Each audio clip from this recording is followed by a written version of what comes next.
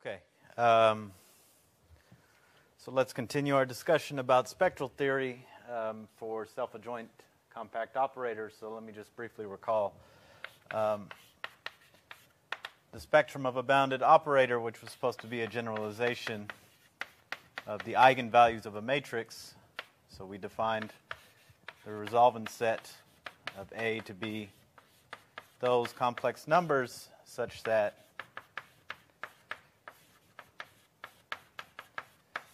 a minus lambda times the identity, which I just write as a minus lambda, is an invertible uh, bounded linear operator, meaning it is um, bijective, and which by the open mapping theorem tells you that the inverse is also continuous. Um, and the spectrum of A is simply those lambda so that A minus lambda is not invertible. So the complement of resolvent set of A. Okay? And so, you know, from linear algebra, you have the following uh, characterization of what the spectrum is that uh, if H is Cn and A is just therefore a matrix on Cn or Rn, if you like, then the spectrum is just simply the set of eigenvalues of A. Okay?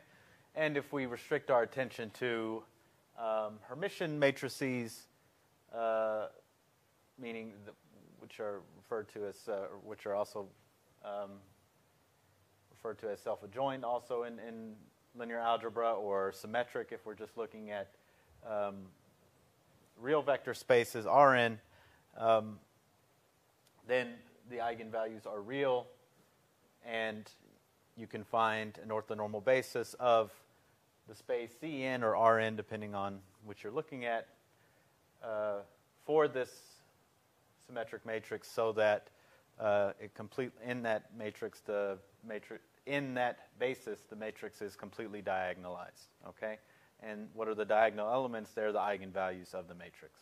Okay?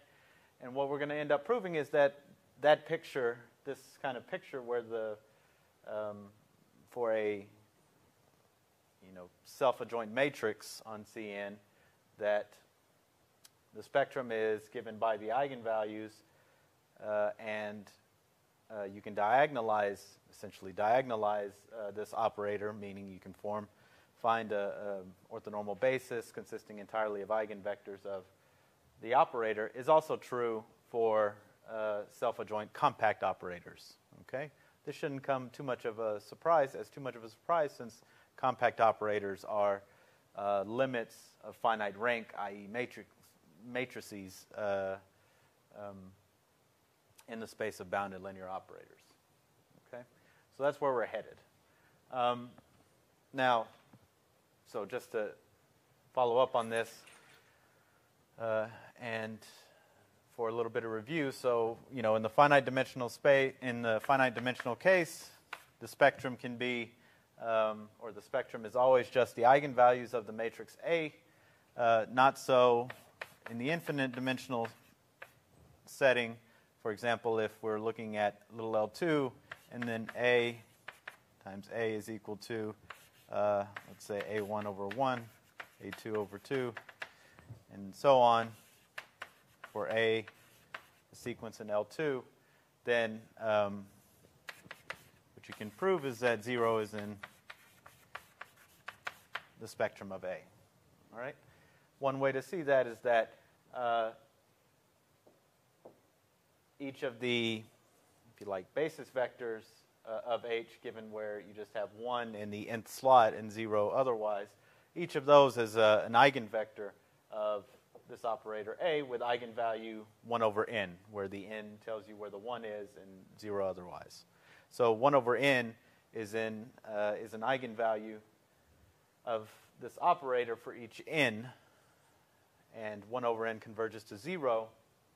And since the spectrum of a bounded linear operator is a compact set, in particular closed, 0, which is the limit of that sequence, has to also be in the spectrum.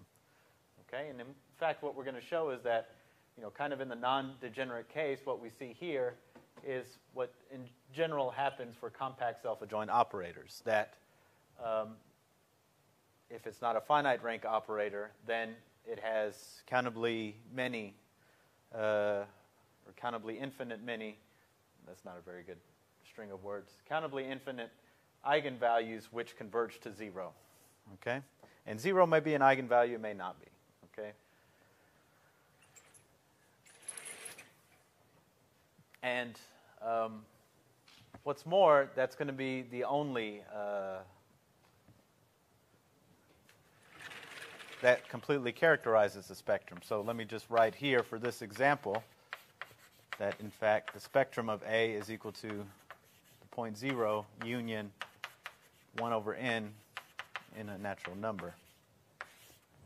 And these are, again, for this operator here, these are the eigenvalues. And this is just, well, 0 is 0. But 0 is not an eigenvalue. Okay? Now, this is not the general picture, meaning uh, that for a compact self-adjoint operator, you'll have uh, infinitely many eigenvalues, and then 0 will not be an eigenvalue. You, could have 0 an eigenvalue as well, but uh, in general, what the picture is is that anything in the spectrum that's not 0 has to be an eigenvalue. Okay? And that's essentially what will prove uh, uh, our first result of uh, this lecture is that uh, is the following. So this is the Fredholm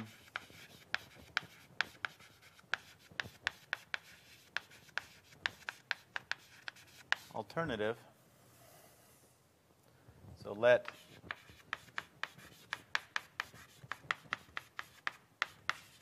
A be a self-adjoint compact operator.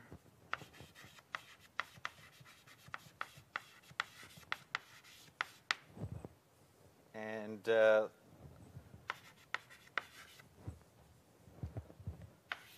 lambda be a non-zero real number.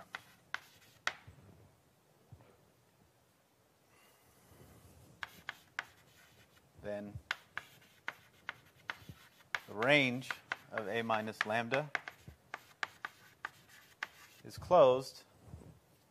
So this is the conclusion.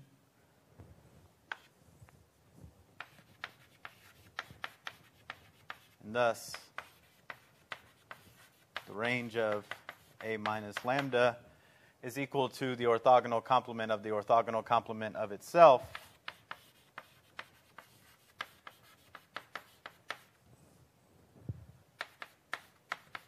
Which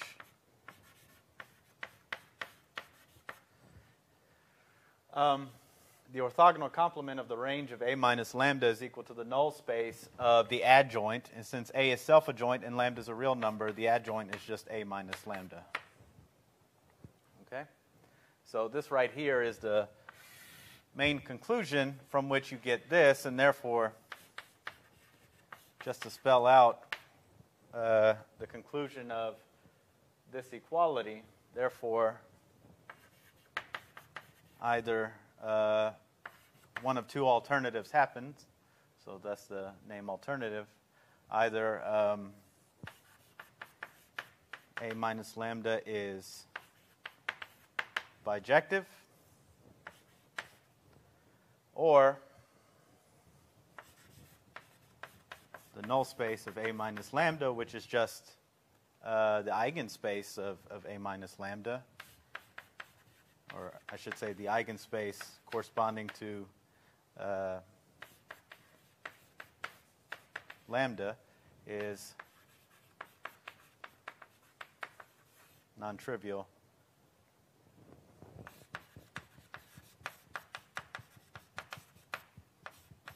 And finite dimensional. Okay?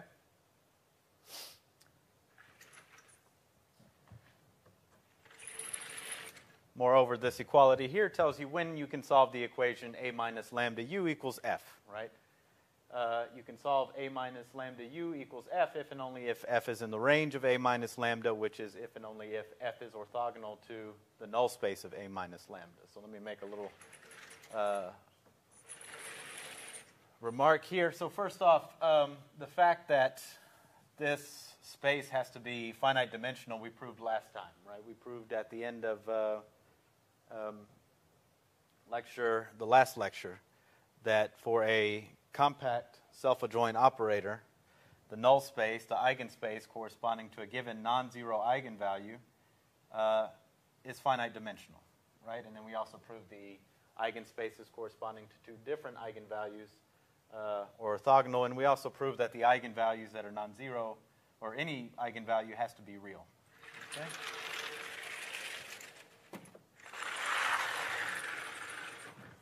So now let me make a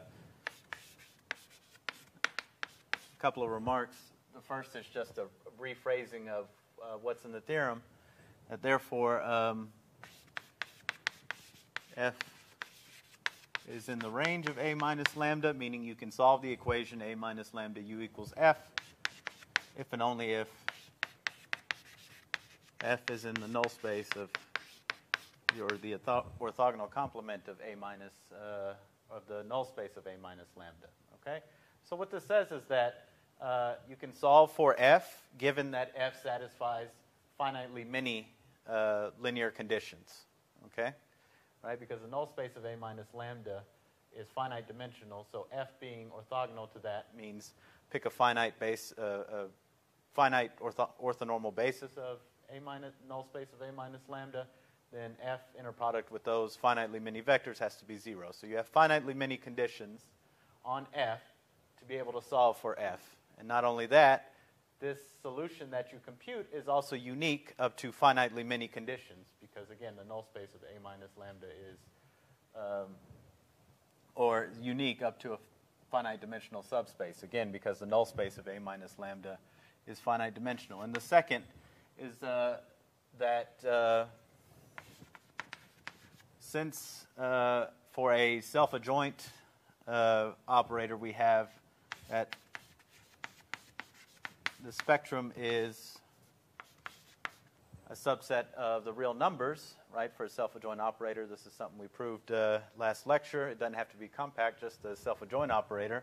So since the spectrum is a subset of the reals, this proves that for a compact self-adjoint operator, the spectrum of A is equal to the set of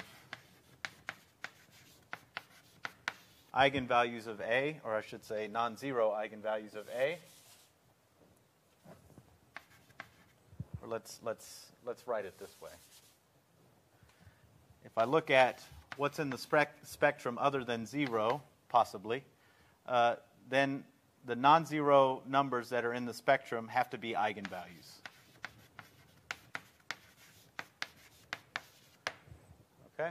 So for a compact self adjoint operator, and of just in the case of uh, matrices, the spectrum, the non-zero spectrum, has to be uh, are nothing but eigenvalues.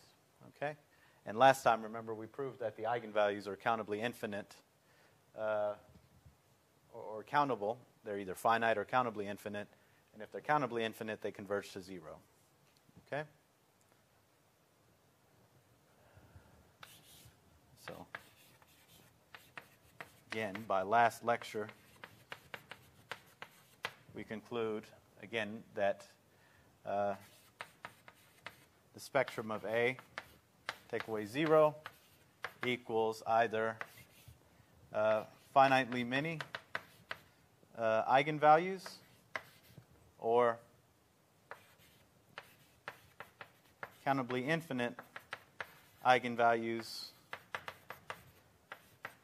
with that are converging to zero. Okay? So from the Fredholm alternative, you know, we get a lot of information about when we can solve equations, but it also tells us, I mean, from that uh, ability to say when we can solve equations, we can also um, characterize the non-zero spectrum of a, a self-adjoint compact operator.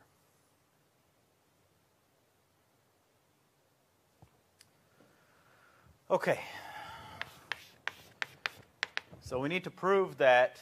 So remember, all of this just followed from you know stuff we had proven and the main, resu- the main conclusion of the theorem, which is that the range of a minus lambda is closed. So we need to prove that the range of a minus lambda is closed when lambda is a non-zero real number. So um, suppose that you have a sequence in the range, which I'll write as a minus lambda times un, converging to some uh, element f in H. Okay, so what we'd like to be able to show is that f is in the range. So uh,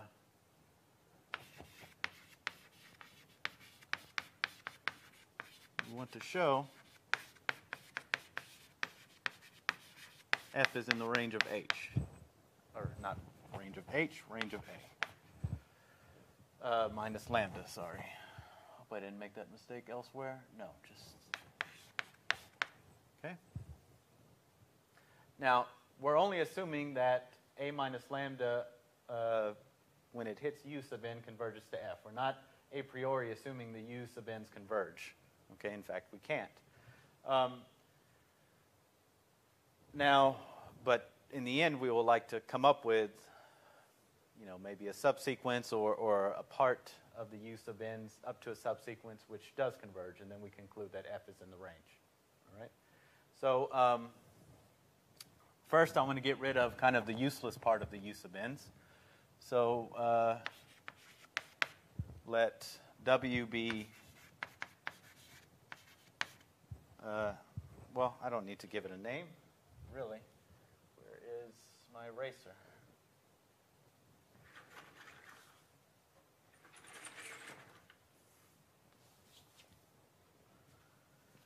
So let Vn be the projection onto the orthogonal complement of the null space of A minus lambda of U sub n. Okay? Um, so now this is just part of so every U sub n is written you can write as um, something in the null space of a minus lambda since uh, so since null space of a minus lambda is a closed subspace of H it has uh, an orthogonal complement so that it's it and its orthogonal complement gives a direct uh, product, uh, or when you take their direct product, gives you H, right? So, um, why am I saying that? Because then, if I take A minus lambda U sub n, this is equal to A minus lambda applied to pi, so the projection onto the null space of u sub n plus the projection onto the orthogonal complement of the null space, which I defined as v sub n. Now, this element here is in the null space of a minus lambda, so when a minus lambda hits it, I get 0. So I get a minus lambda applied to v sub n. All right?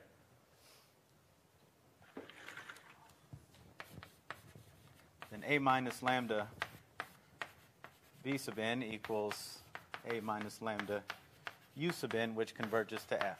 All right, so basically I've taken away uh, some noise. All right, all right. Uh, the part that when it hits a minus lambda, I get zero. So now I just have these v sub n's, uh, which lie in uh, in the orthogonal complement.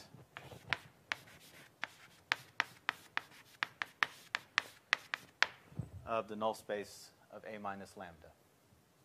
Okay? So, uh, my claim is uh, first is that the sequence V sub n is bounded. Right?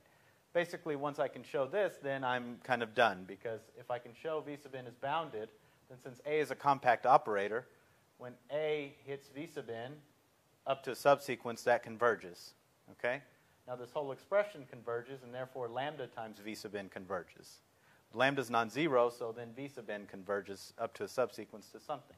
And therefore a minus lambda v sub n converges to a minus lambda of v for some v, uh, which shows that f is in the range of a minus lambda. So this is really the whole ball game.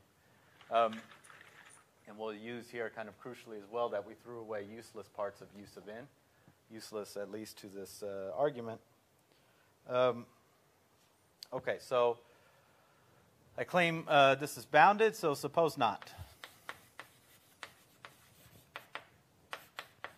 Then there exists subsequence, call it V sub n sub j,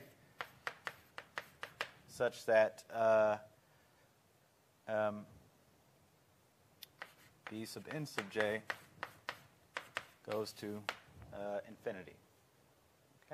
As j goes to infinity.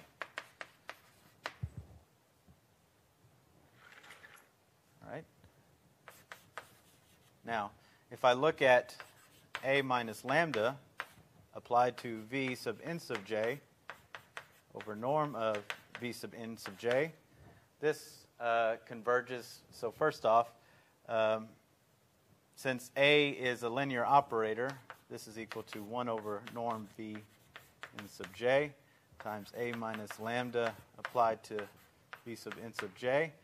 And so this scalar 1 over norm v uh, n sub j converges to 0 this converges to f, so I get the zero vector in H. Okay, so um, this thing converges to zero uh, in the Hilbert space H. Now, why is that bad? Because um, essentially what this is going to say is that there exists some element uh, or that this sequence converges at least up to a subsequence to an element v with norm 1 because they all have norm 1 so that a minus lambda v equals 0. But all of these are in the null space of a minus lambda and we get a contradiction. So, um,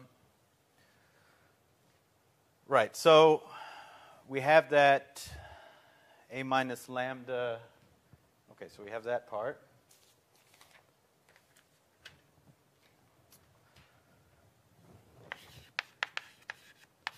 since A is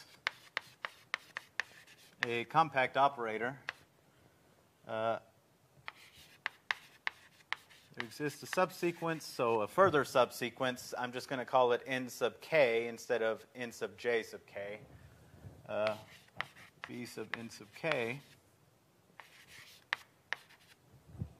of b sub n sub j such that the sequence A sub B sub n sub k converges. Okay? But then I get that B sub n sub k, or I should say, uh,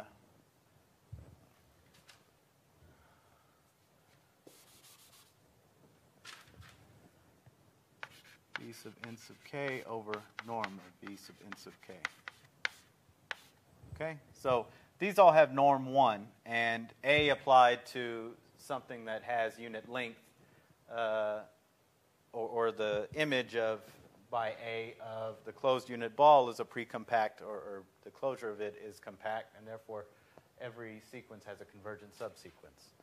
Um, then V sub n sub k over norm of V sub n sub k.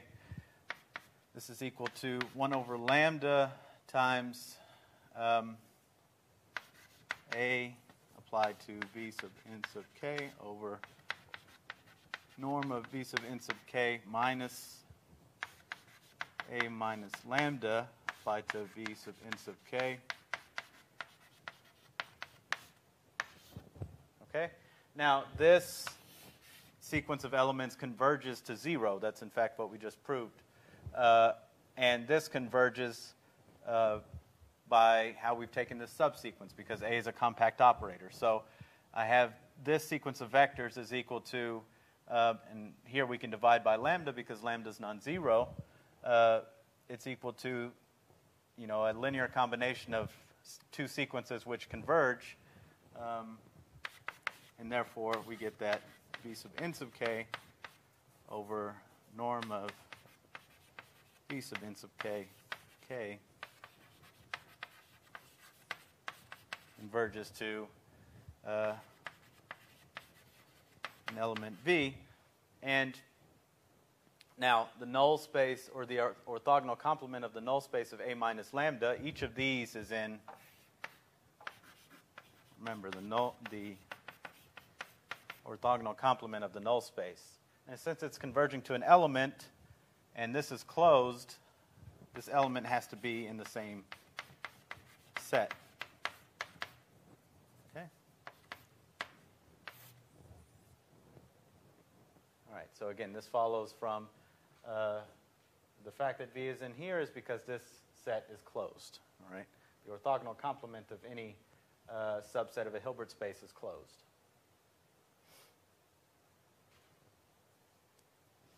All right.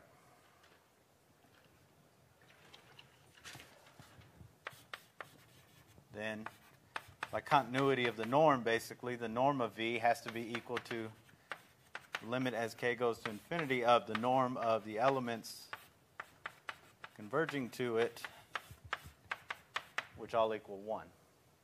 Okay? And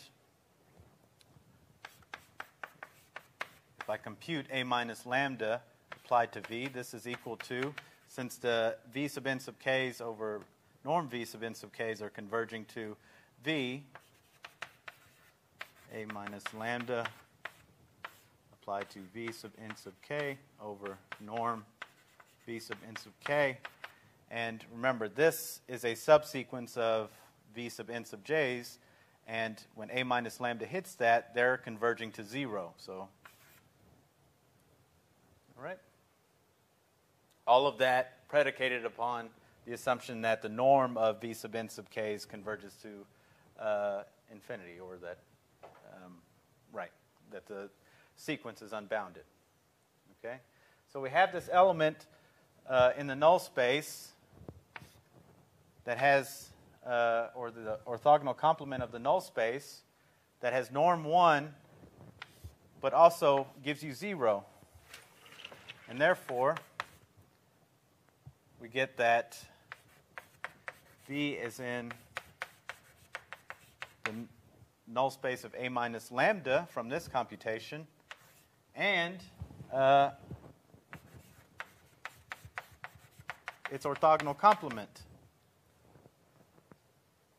Okay? But the only possible uh, vector that's in a space and its orthogonal complement is the zero vector, uh, or the um, only vector in a subspace and its orthogonal complement is the zero vector. And therefore, v equals 0, which this is a contradiction to the fact that the norm of v equals 1. Okay? So uh, we started off with the sequence v sub n's, assuming that they are unbounded. v sub n over norm v sub n uh, is a uh, sequence of essentially, um, so maybe you got lost in the subsequences, but let's just assume I'm talking about the entire sequence. Then the then v sub n over norm v sub n, uh, when a minus lambda hits it, converges to zero. Since a is a compact operator, we can choose a sub. We can show essentially that a applied to v sub n over norm v sub n because those things have unit length converges to something. And since lambda is non-zero, we can then conclude that uh, those vectors converge, uh, in fact, to something, not just their images by a or their images by a minus lambda, again, because lambda is non-zero. All right? And since they all have unit length, their limit must have unit length. And since when a minus lambda hits these guys, they go to zero, the limit must also, uh, when a minus lambda hit it, equal zero. And that gives us our contradiction because this limit v had to be in the null, the orthogonal complement of the null space, but then also in the null space and have unit length uh, those three things can all happen at once. Okay? So, uh, thus, this sequence V sub n is bounded. Okay, so remember, how was the V, what were the V sub n's uh, to start with? They were so that A minus lambda V sub n's converge to this element F. And we wanted to show that F is in the range, right? So we, coming back over here, we had these v sub n so that a minus lambda v sub n converges to f, and we want to show f is in the range to conclude that the range of a minus lambda is closed. But now, that, since it's bounded, and we've kind of done this argument already, uh, this is essentially the whole ball game. Since the sequence v sub n is bounded, and A is a compact operator, we conclude that um, there exists a subsequence E sub n sub j such that, so this has nothing to do with the previous argument now, but I just don't feel like using different letters, uh, such that A applied to V sub n sub j converges. So remember, A is a compact operator, which, you know, we stated in an, it, it in terms of the closure of the image of the closed unit ball being compact. Equivalently, by scaling the unit ball, it means that A takes any bounded sequence to uh, a sequence that has a convergent subsequence. Okay? So we showed V sub n is bounded, and therefore, since A is a compact operator, we can find a subsequence so that when A hits it, we have a convergent sequence. Okay? And by that same trick we used a minute ago, we conclude that V sub n sub j, which is, and we can do this because lambda is non zero, we can divide by it. Um, so a b sub n sub j minus A minus lambda b sub n sub j now, again, this here is converging to something. This here is converging to f, right? So uh, this linear combination of convergent sequences is convergent.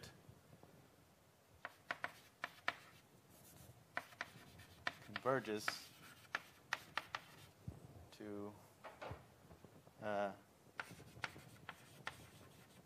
an element v, and therefore I get that f which is the limit as n goes to infinity of the v sub n's, but um, convergence still holds if I look at a subsequence, a minus lambda v sub n sub j equals, and since a minus lambda, so a is a bounded linear operator, lambda times the identity is a bounded linear operator. This is equal to a minus lambda v, and therefore f is in the range.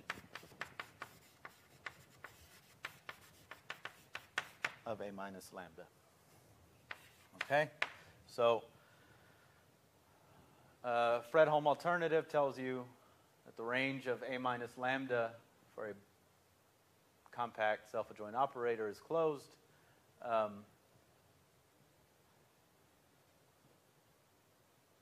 so, you know, where did we really use the fact that it was self-adjoint? Nowhere in this argument. So this uh, fact that the range of a minus lambda is closed is still true if um, you know a is just a compact operator and lambda is just some non-zero uh, complex number. Um, but where we use that it's self-adjoint is kind of, I guess, in, in the rest of the conclusion that the range of a minus lambda is therefore equal to the null space of a minus lambda, and therefore either a minus lambda is bijective or the null space of a minus lambda is non-trivial and finite dimensional by what we did in the previous lecture.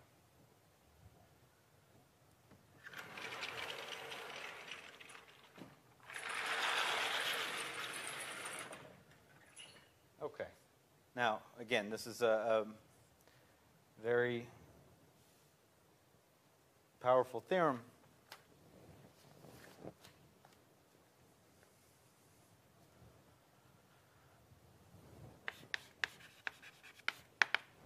And again, what this says is that if I look at the non-zero spectrum of a compact self-adjoint operator, then that consists entirely of eigenvalues of A.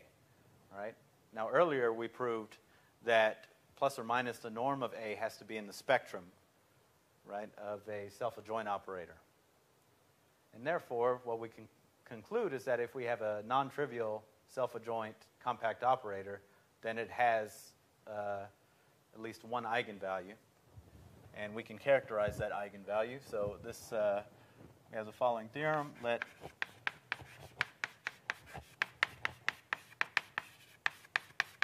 A be a non-trivial uh,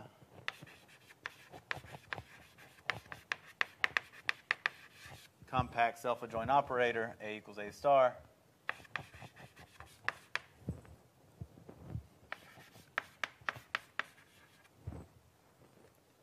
Then as a non-trivial uh, eigenvalue lambda 1, and we can characterize lambda 1, or at least the absolute value of lambda 1, as the supremum over norm u equals 1 au u. Okay? Uh, equals, and this uh, supremum is actually achieved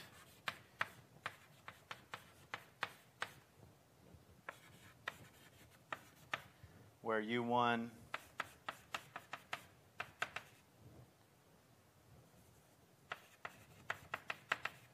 is uh, a normalized eigenvector corresponding to lambda 1.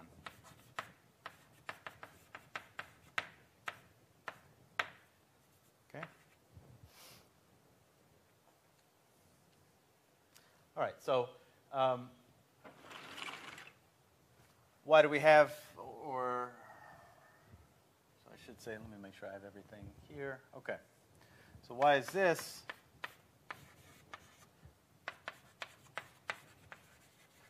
So first off, we've shown that uh, plus or minus the norm of A uh, is in fact in the spectrum of A. All right, for any self-adjoint uh, bounded linear operator, not necessarily compact, uh, that plus or minus, not necessarily both of them, but plus or minus one of these, at least one of plus or minus, uh, since A is self adjoint, meaning A star equals A.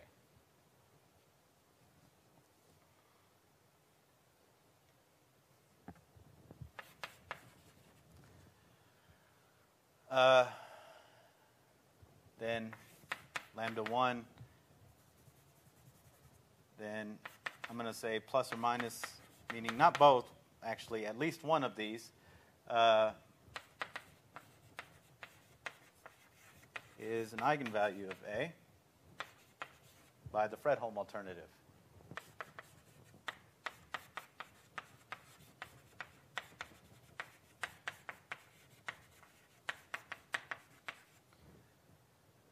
The Fredholm alternative and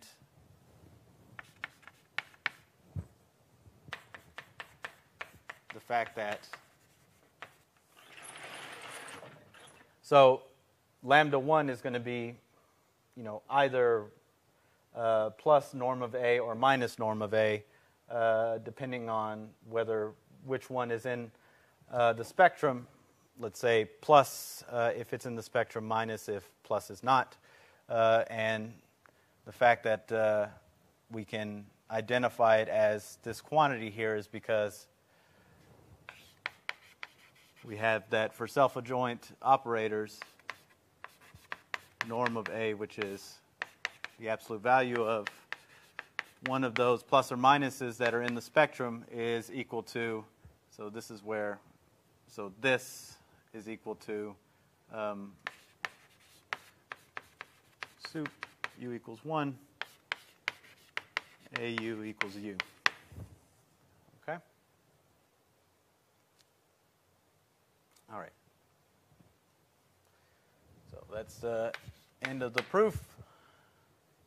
And now what we're going to do is we are going to keep going. All right? Um, so the end result will be that we can determine all of the eigenvalues via a certain maximum principle and build up um, a sequence of eigenvectors, normalized eigenvectors, which are pairwise uh, orthogonal simply because they come from um, how they're built up. Uh, we'll see. And what? And then we'll show that uh, essentially that set of eigenvectors that we get, along with uh, a set of, or an orthonormal basis chosen for the null space of A, uh, form an orthonormal basis for uh, a separable Hilbert space H. Okay? So that's where we're going, but uh, we can basically take this theorem and keep applying it. So uh, we have the following maximum principle. If you like, this is the first step in a maximum principle. This says if you want to find the largest eigenvalue, lambda 1, um, I should say, I can even say largest eigenvalue. Largest in the sense of uh, um, absolute value.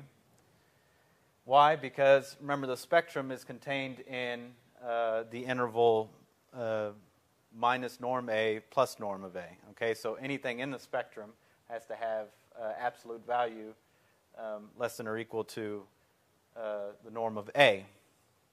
And if it's an eigenvalue, it's or if it's a right anything other than zero has to be an eigenvalue, so we get uh, get this.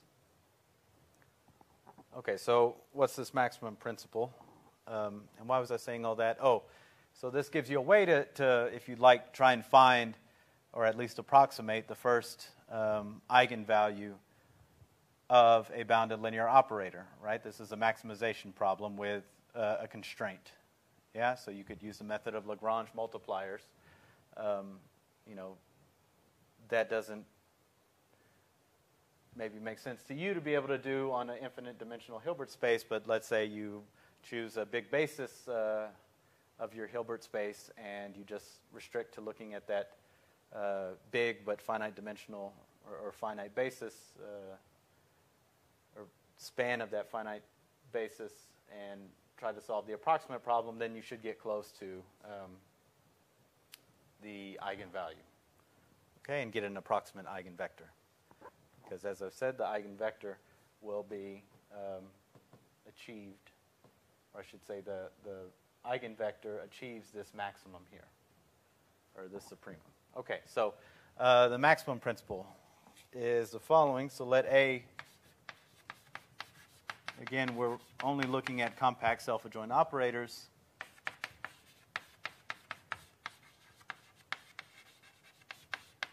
Compact operator.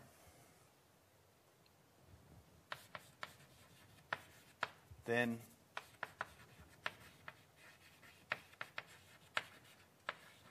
non-zero eigenvalues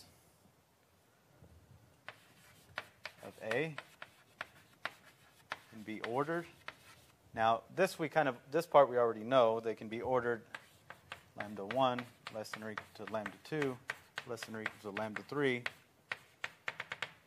counted with multiplicity, meaning uh, if lambda 1 has a two dimensional eigenspace, then lambda 2, or the absolute value of, or lambda 2 will be lambda 1. So we're, we'll repeat it according to multipli- multiplicity.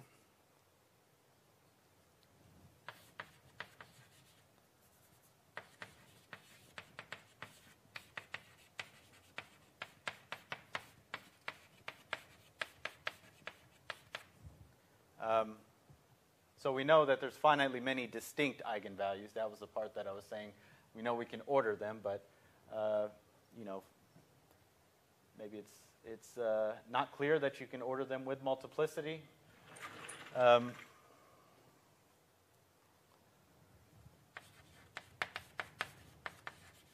with corresponding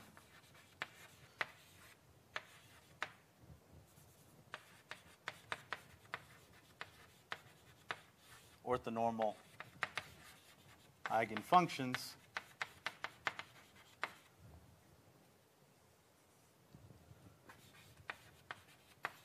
UK. So u1 is a normalized eigenfunction uh, for lambda 1. u2 will be a normalized eigenfunction for lambda 2, which is orthogonal to u1. So these are pairwise orthonormal. And how do we obtain uh, the eigenvalues in this order and these eigenfunctions via the following process so that lambda j is equal to the supremum over all uh, unit vectors that or, are orthogonal to the first uh, j minus 1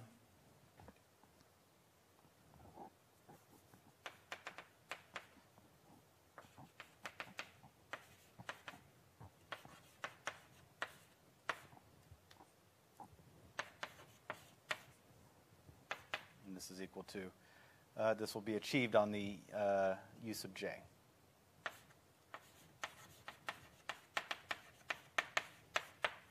Okay? So, um, we have the first one, if you like. We built up lambda 1 u1, and now what this maximum principle theorem is saying is that we can kind of repeat this. Okay? Is that if we now look at um, this quantity here, the supremum over all norm 1 uh, vectors that are orthogonal to u1, then we're going to pick up uh, the next largest eigenvalue counted with multiplicity, meaning uh, it'll be the absolute value of lambda 2, which will be less than lambda 1 if you know lambda 1 is uh, only has a one-dimensional eigenspace, um, or it'll be lambda or the absolute value of lambda 2 will be lam- the absolute value of lambda 1 again if lambda 1 has a, let's say, two-dimensional eigenspace. Okay? And if it had a three-dimensional eigenspace, we would get the absolute value of lambda 1 uh, for, um, it would equal this number and this number as well. Okay? So again, these, these um, non-zero eigenvalues are, uh, can be ordered in this way. Um, oh, and I left off one. And the lambda j is going to 0. Okay?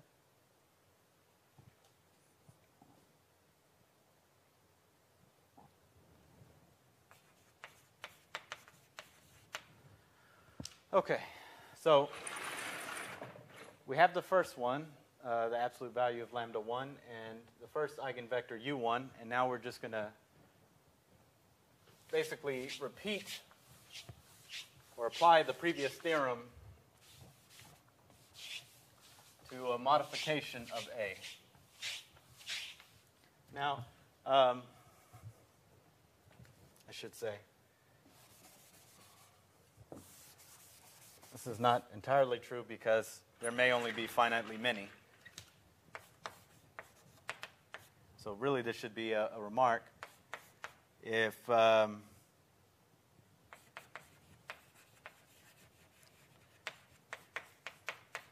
the decreasing sequence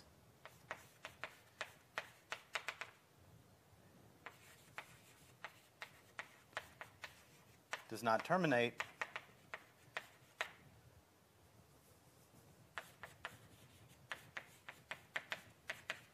then uh, the absolute value of the lambda j's goes to zero. Okay? Um,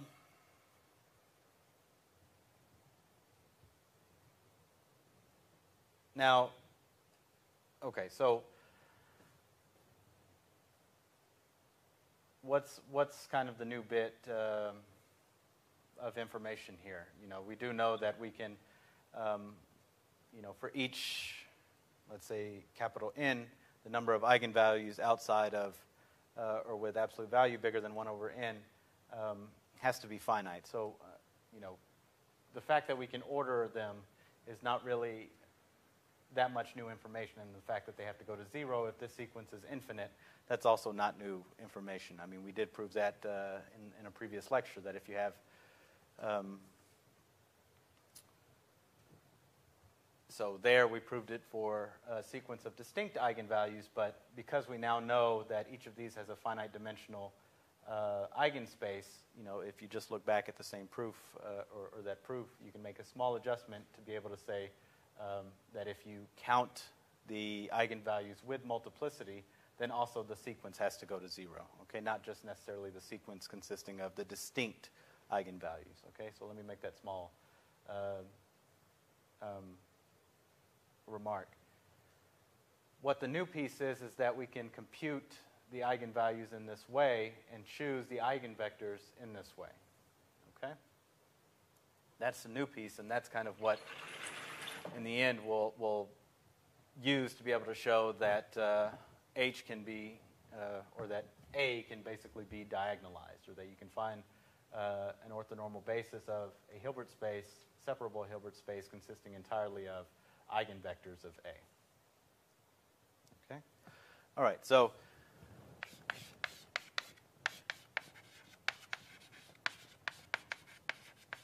the construction proceeds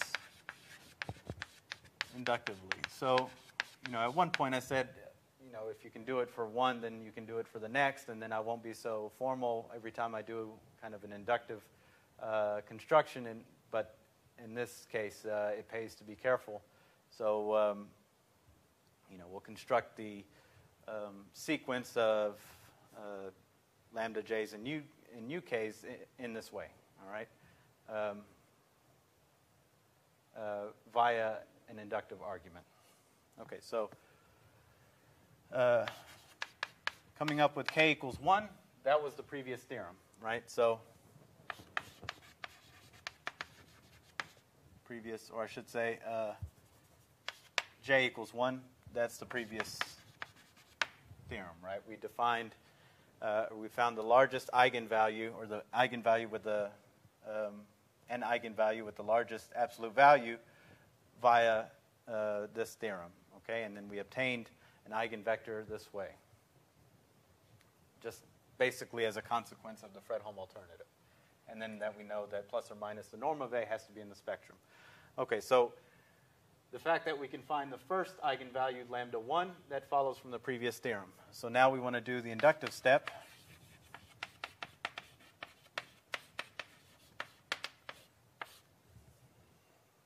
i.e., we want to suppose we have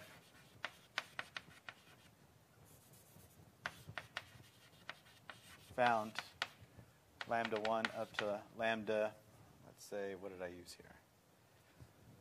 Lambda n, so j equals n, along with uh, orthonormal uh, eigen vectors u1 up to un, satisfying um, this uh, maximum principle. Okay, so for j up to from j starting from starting at one up to n, we've constructed or, or found the lambda two, lambda three, up to lambda n, and the u1 up to u n satisfying that maximum uh, property. Okay. All right, so um, then there's two cases. Uh, so case one is the fact that A minus A is equal to uh, the sum from k equals 1 to n of lambda k u inner product uk uk. And therefore, um, what this shows is that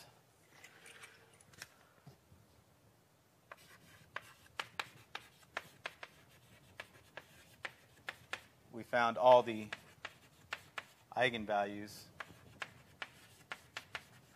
and the process terminates.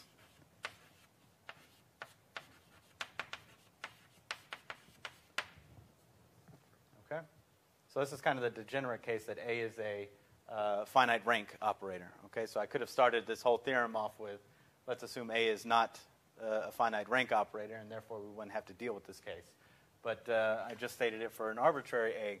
So there is the possibility that that sequence stopped. Okay, we found all of the eigenvalues uh, with multiplicity in this in this process, and then the theorem or construction is done in that case. In the case two, is that it is not a finite rank operator, so it's not equal to k equals 1 to n.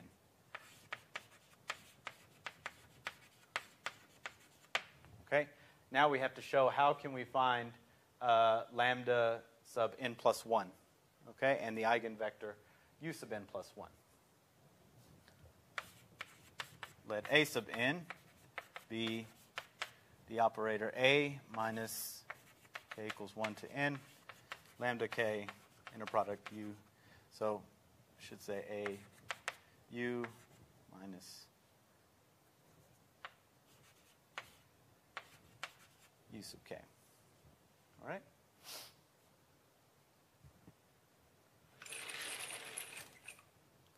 Now, note, since we are in case two, this operator is non zero. Okay, so we're basically going to apply the previous theorem now to this operator. Okay, but let me first make a few remarks. Then A is A sub n is a and this is something you can check. It's a self it's self adjoint compact operator. So why is it self adjoint? Basically because A is self adjoint uh, and these lambda k's are real numbers. Okay? Right? Because the eigenvalues have to be real because A is self-adjoint. Um, and these are orthonormal. Um, so that is why they're self-adjoint. Why is it a compact operator? Well, it's the sum of a compact operator A and a finite rank operator here. So it's also a compact operator. Uh, and it's a non-trivial one because it's not identically equal to zero. So I shouldn't say uh, not equal to zero, but uh, which is not identically the zero operator. Okay? All right, so here's a couple of facts uh, that if u is in the span of u1 up to un, then I get that a sub n applied to u is a zero vector. Okay? Why is that? So it suffices to check that um, this gives me, this formula gives me zero when u is one of the UKs. Now, if u is one of the UKs, then this will be um, one only when, or let's say it's one of the UJs. I need a different letter. So if u is one of these UJs, then this will give me 1 only when j equals k, and I pick up lambda j times uj. And then I have A hitting U sub j, and that spits out lambda j times U sub j because U sub j is an eigenvector of A. So then I get the same thing here and there, and subtracting them gives me 0. Um, now, if U is orthogonal to uh, the span of the U1 up to UN, then I get AN of U equals AU. Okay? So you just see this. If u is orthogonal to these, then this whole term is 0. Can I just pick up a n u equals AU?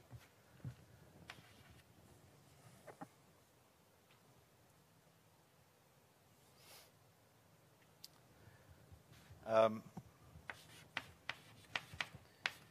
for all u in H, V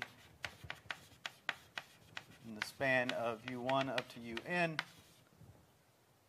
uh, if I compute ANU inner product V, this is equal to uh, U ANV since AN is self-adjoint.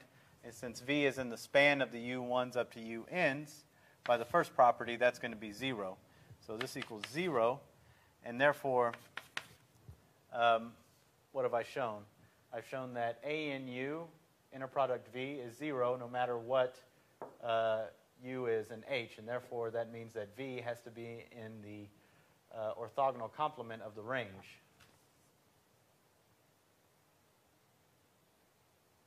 Okay, so I said that backwards. So anyways, um, here U is fixed, V is the thing that's changing. So what does this say?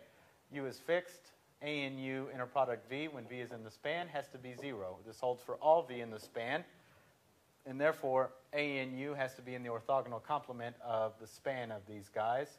So this proves that the range of AN is a subset of the orthogonal complement of U1 up to UN.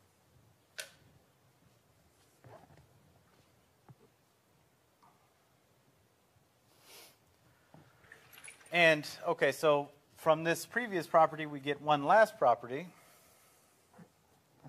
That if uh, ANU equals lambda u is non-zero, meaning we have a non-zero eigenvalue of a sub n, uh, then that implies that u,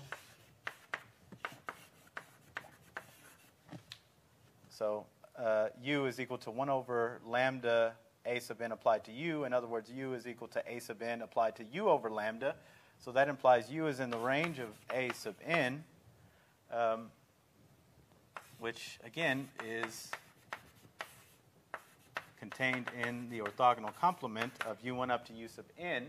And since it's in the orthogonal complement, that means a sub n u equals au.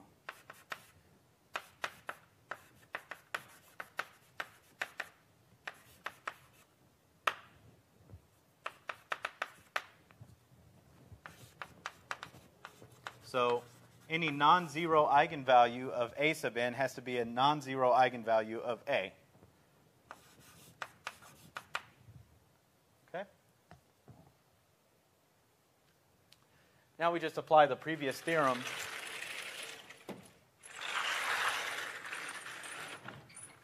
to um, to a sub n to get the next eigen or next uh, eigenvalue a sub n plus, or lambda sub n plus 1, and eigenvector u sub n plus 1.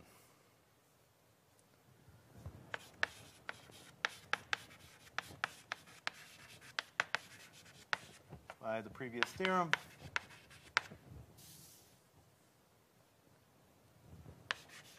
a sub n has a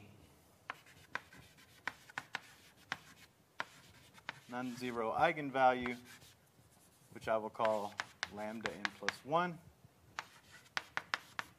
with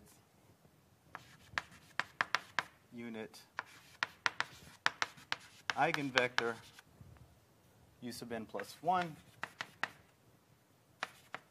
so that lambda n plus 1 is equal to the sup over all uh, norm. So.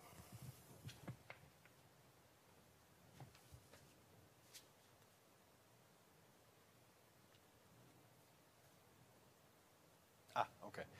Sup over all norm uh, or unit length vectors of absolute value of a sub n applied to u inner product u. Now, this sup is over all is the same uh, sup over all one so that a sub nu is non-zero, so that uh, in particular includes um,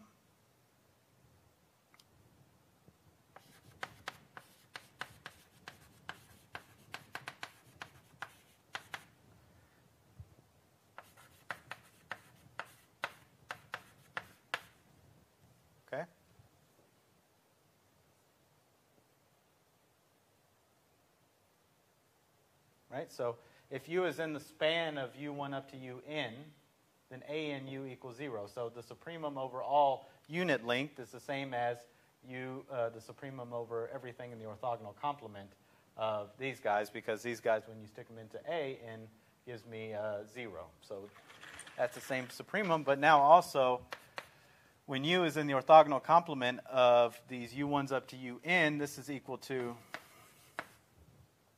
uh, sup of u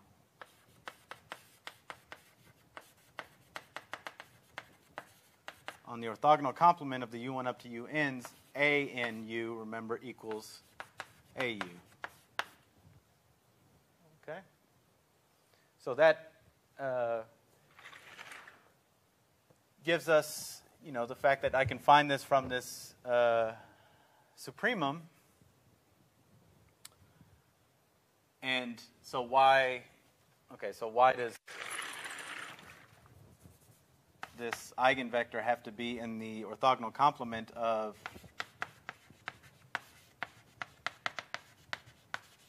uh, u1 up to un, it's because I can choose it that way because, again, when a sub n hits any of anything in here, uh, I get 0. Okay?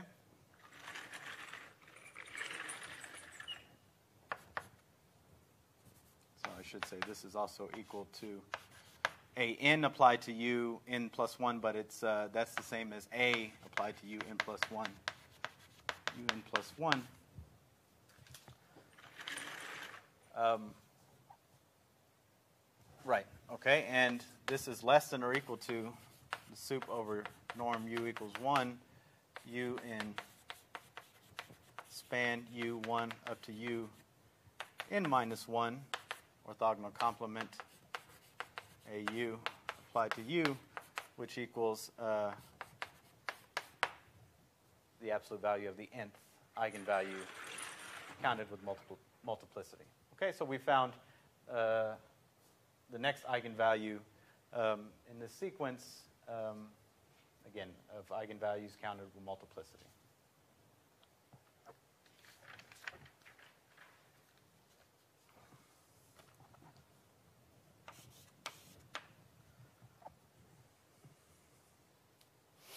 Okay, so now we have, uh, we can conclude the following spectral theorem.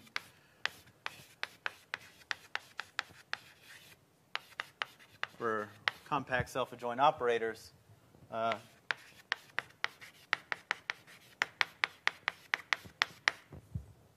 let A be a um, self-adjoint compact operator.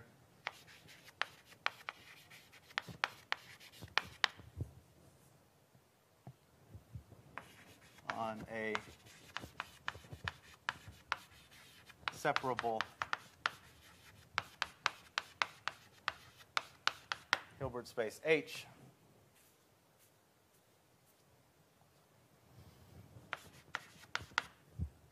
Let lambda 1 bigger than or equal to lambda 2 be corresponding um, eigenvalues be the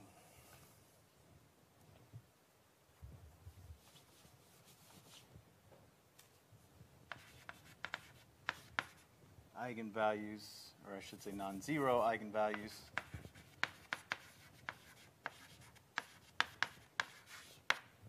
of A counted again with multiplicity. So uh,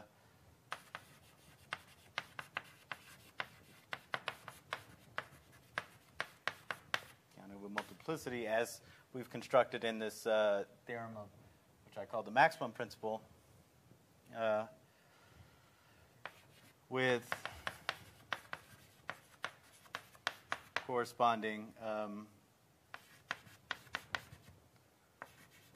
orthonormal eigenvectors.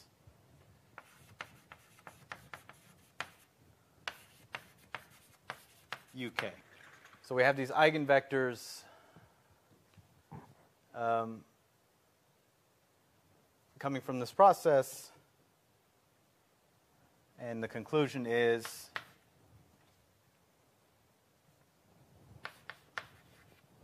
uh, this uh, um, subset of eigenvectors or orthonormal eigenvectors is uh, an orthonormal basis for the closure uh, or for the range of A. In fact, we can upgrade that. UK is in fact an orthonormal basis for the range of a closure and there exists an orthonormal basis, call it uh, f sub j, of the null space of A, if it's non zero, uh, such that you k, k, fj. Uh, so, first off, the union of these two uh, sets of orthonormal vectors is then going to be, a, again, a subset of orthonormal vectors because all the fj's would correspond to the eigenvalue um, 0, and these UKs would correspond to eigenvalues that are non zero. And by what we proved last time, uh, any eigenvector for two distinct eigenvalues would have to be orthonormal. So this subset is orthonormal from this subset. But moreover, is orthonormal, like I said, but also an orthonormal basis for H. Okay? So, in other words, I can find uh, an orthonormal basis for H consisting entirely of eigenvectors of this uh, self adjoint compact operator. Okay? So, I will have one piece of this basis coming from the null space and the other piece uh, corresponding to um, non zero eigenvalues. So, really, uh, two follows from one. Um,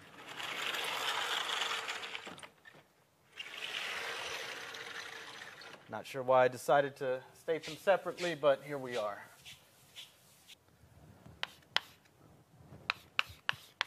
So proof of one will show that UK is an orthonormal basis for the range of A. Um, so first off, note, as we did in the previous proof, that the process of obtaining the lambda 1 or the eigenvalues.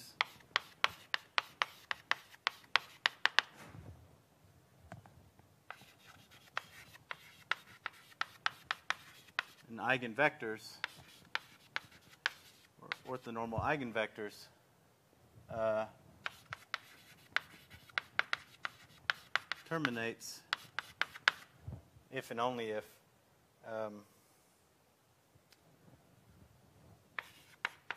A was finite rank. In other words, there exists an N so that AU is this finite rank operator. U inner product UK, UK. Okay?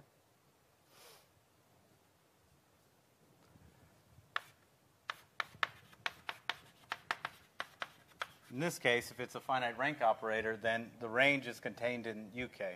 The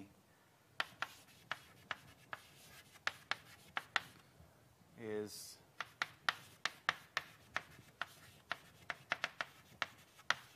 which is what we wanted to prove for this case, that A is this finite rank operator.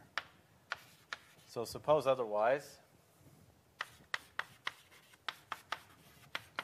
In other words, the process does not terminate.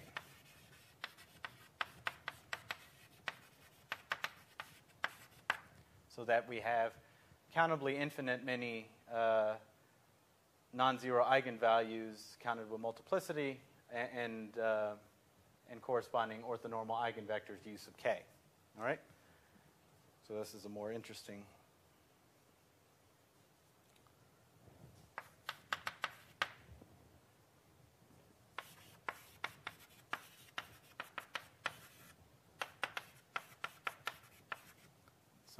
Eigenvalues are countably infinite.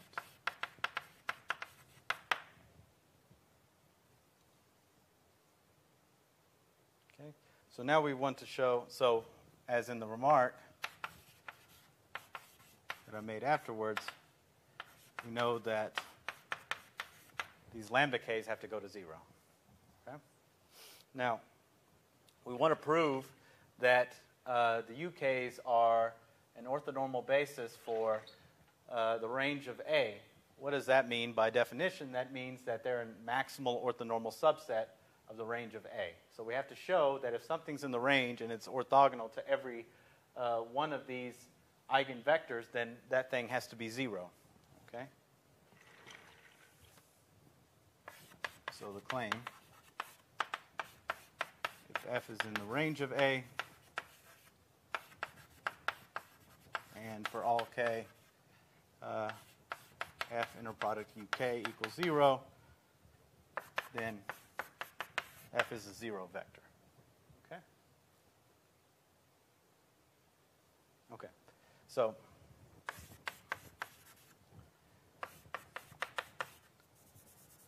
so this is the claim we want to prove. So suppose we have something in the range. That means we can write it as a times u and uh, f inner product uk equals 0 for all k.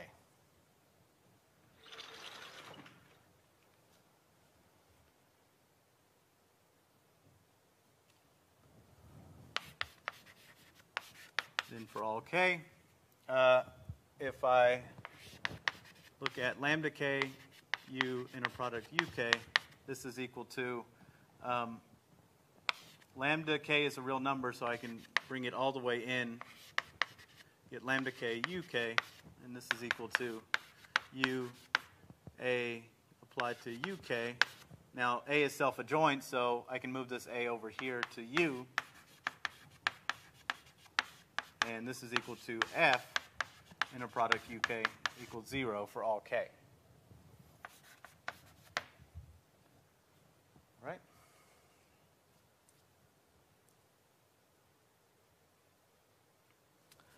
So by this uh,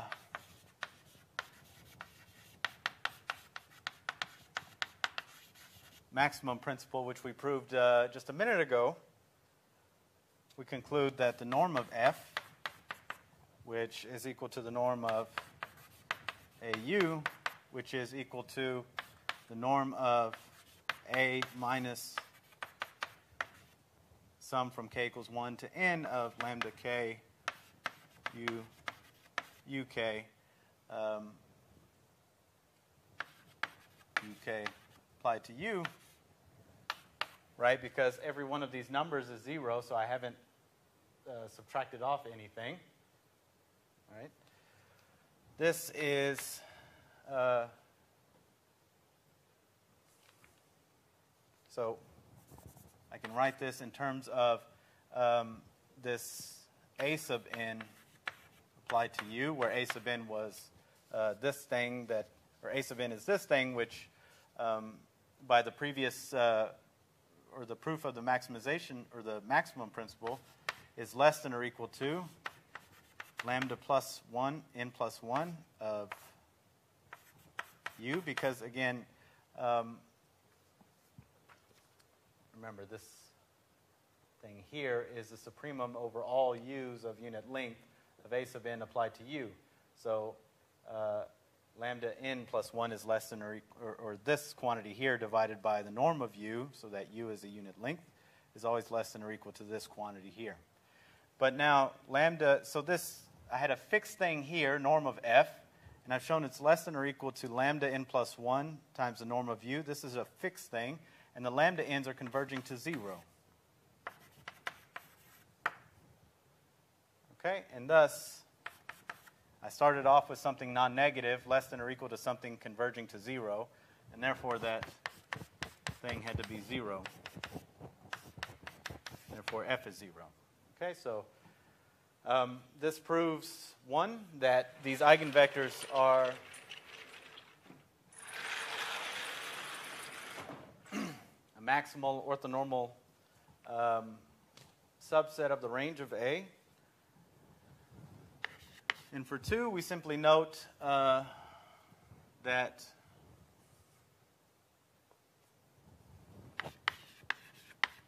by 1, we have that the range of A closure, this is since the um, eigenvectors are an orthonormal basis for uh, the range of A, the closure is contained in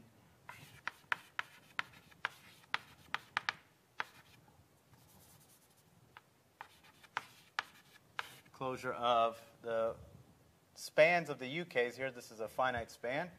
Um, which remember, this is by uh, an assignment exercise. This is equal to k, ck, uk, such that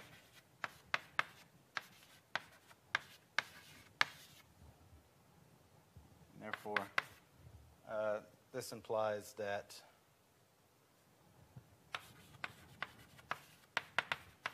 is an orthonormal basis for the range of A closure. And this is equal to the range of A orthogonal complement, orthogonal complement, um, which is equal to the null space of, or the orthogonal complement of the null space of A star, A star equals A, so we get that. So the UKs, the eigenvectors form an orthogonal uh, or an orthonormal basis for the orthogonal complement of the null space of A. So once we've chosen an orthonormal basis for uh, null space of A, that's it. Since H is separable, and the null space of A is a closed subspace of H. Um,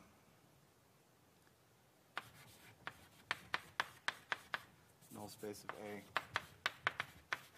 is separable, and we've proven that every separable uh, Hilbert space, or, or um, even just uh, okay, so this is a closed one, so it's a Hilbert space anyways. But every separable Hilbert space has an orthonormal basis.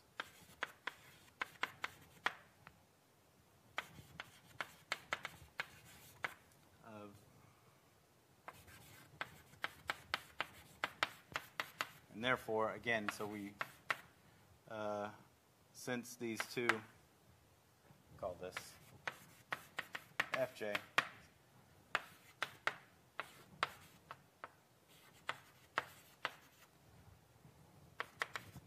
this is an orthonormal basis for the null space of A direct product, null space of A orthogonal complement, that equals h. All right?